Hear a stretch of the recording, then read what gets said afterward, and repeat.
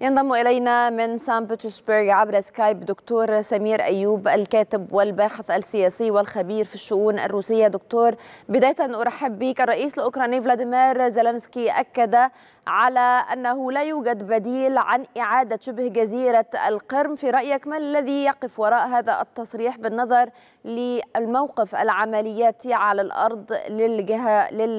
لل... لأوكرانيا على سبيل المثال؟ أهلا وسهلا بكم مساء الخير لكم ولمشاهديكم الكرام. يعني الحقيقة هذه التصريحات للرئيس زيلينسكي لا تعبر عن موقفه بشكل خاص كما وإنما تعبر عن موقف الإدارة الأمريكية. يعني لو كان القرار بيد الرئيس زيلينسكي أو القيادة في كييف لرأينا محاولات لحل هذا النزاع بالطرق السلمية وكانت في بداية العملية العسكرية محاولات لحل هذه المسألة عندما بدأت المفاوضات بين روسيا وأوكرانيا. لكن الذي عطل هذه المفاوضات هي الولايات المتحدة الأمريكية.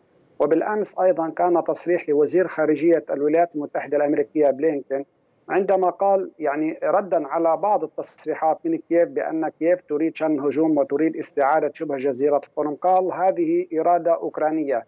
والجميع يعلم أن الإرادة الأوكرانية غير موجودة من دون الدعم والتحريض الأمريكي.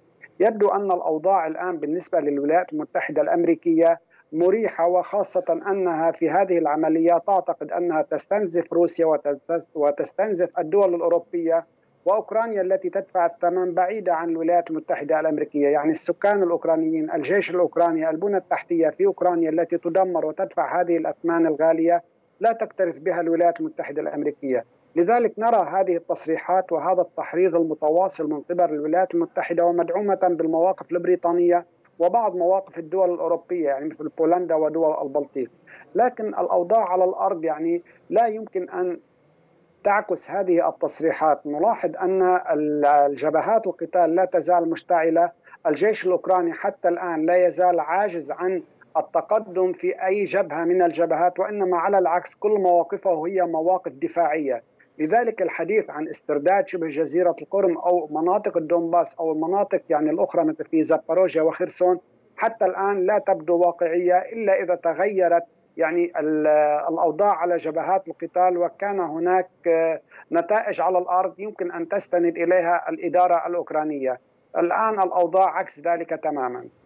طيب دكتور هل ترى أنه سيكون هناك توافق مترتب على زيارة إيمانويل ماكرون للصين ودعمها فيما يخص الوساطة بين روسيا وأوكرانيا وإلى أي مدى ستتقبل أوكرانيا هذه الوساطة الصينية بالنظر للعلاقة الوطيدة بين الصين وروسيا؟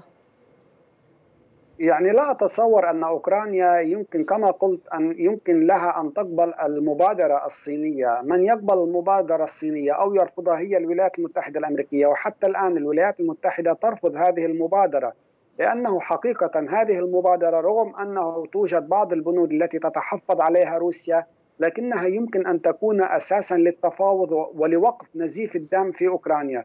يبدو أن هذا لا ترغب به لا الولايات المتحدة الأمريكية ولا بريطانيا. لذلك يعني رفضت هذه المبادرة من الولايات المتحدة الأمريكية قبل أن ترفض من كييف. روسيا يعني كما دائما تقول أنها مستعدة لحل هذه المسألة بالطرق السلمية لكن موازاة مع ذلك مستمرة في عملياتها العسكرية إذ أنها لا تثق لا بالمواقف الأوروبية ولا حتى بالمواقف الأمريكية.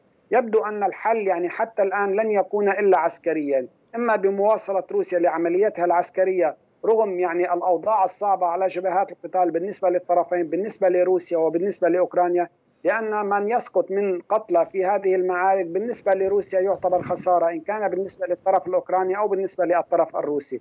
بينما يبدو أن الطرف الأوكراني سلم بأن هذه الخسائر يمكن أن تكون فدية للمصالح الأمريكية ومصالح بريطانيا في منطقة القوقاز ومنطقة الجيوسياسية التابعة لروسيا. دكتور سمير أيوب الكاتب والباحث السياسي والخبير في الشؤون الروسية. أشكرك جزيل الشكر على كل هذه المعلومات. كنت معنا مباشرة عبر سكايب من سان بطرسبرغ.